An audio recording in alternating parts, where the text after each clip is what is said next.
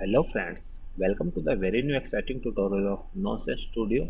Today I am going to show you how to create unique design in Adobe Illustrator using Blend tool. So let's begin. First make sure your fill is off and your stroke is on. Now I am creating one rectangle and now change the color and creating ellipse tool. Choosing ellipse tool and creating one circle.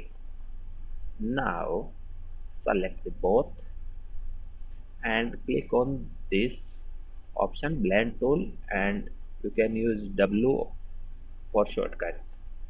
Now click on this and click on this. After that you can see. It's a gradient look on black to red and is unique. You can create another design like rectangle on red color